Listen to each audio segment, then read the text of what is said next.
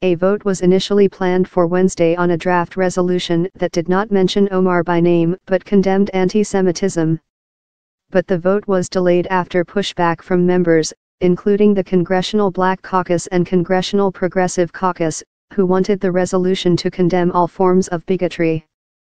They got their wish, as House Speaker Nancy Pelosi said Thursday morning that resolution would condemn anti-Semitism, Islamophobia and white supremacy while not naming Omar specifically.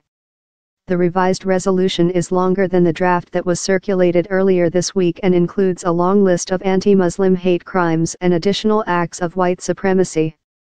The resolution passed early Thursday evening, with all Democrats voting yes and 23 Republicans voting no over complaints that the bill was too broad.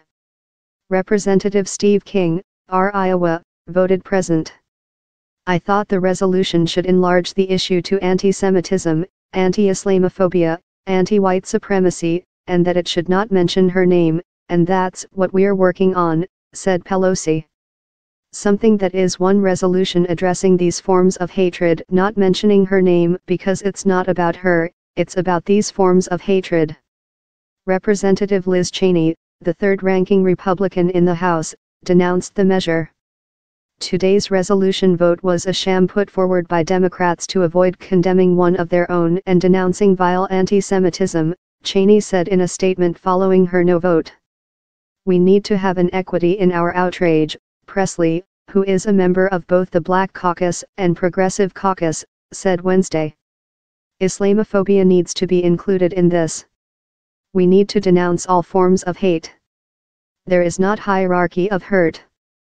Representative Omar's strength inspires me and so many, wrote Tlaib, the other Muslim woman in Congress, on Twitter Sunday.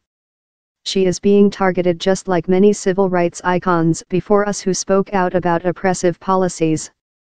As she uplifts my Sity referring to her grandmother and other Palestinians in the name of justice and peace, she shows us real courage. Late Wednesday afternoon, a number of Democratic presidential hopefuls in the Senate spoke out in support of Omar while condemning bigotry. Anti-Semitism is a hateful and dangerous ideology which must be vigorously opposed in the United States and around the world, said Senator Bernie Sanders, I Vermont, who is Jewish, in a statement. We must not, however, equate anti-Semitism with legitimate criticism of the right-wing, Netanyahu government in Israel. Rather, we must develop an even-handed Middle East policy which brings Israelis and Palestinians together for a lasting peace. What I fear is going on in the House now is an effort to target Congresswoman Omar as a way of stifling that debate. That's wrong.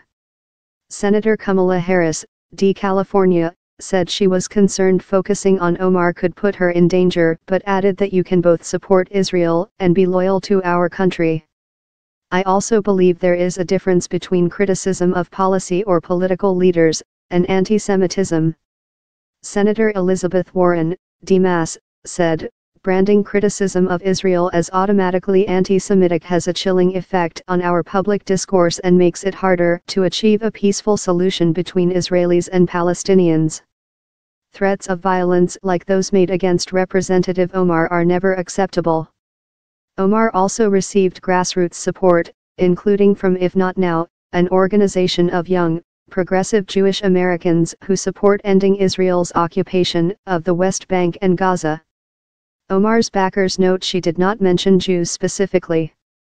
Historically, Jews, who until 1948 were a religious minority in every country where they lived, have been suspected of disloyalty, and the victims of persecution as a result.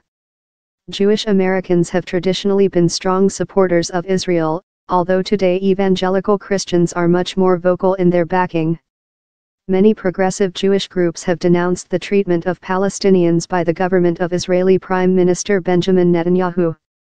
Republicans have attempted to use the resolution as a wedge issue, as President Trump has repeatedly called for Omar to be stripped of her position on the House Foreign Affairs Committee and to resign completely from Congress. It is shameful that House Democrats won't take a stronger stand against anti-Semitism in their conference, said Trump, whose anti-refugee rhetoric was seen as partial inspiration for a gunman who killed 11 people at a Pittsburgh synagogue last October. Anti-Semitism has fueled atrocities throughout history, and it's inconceivable they will not act to condemn it. It is unclear if Omar will face any further reprimand for her comments.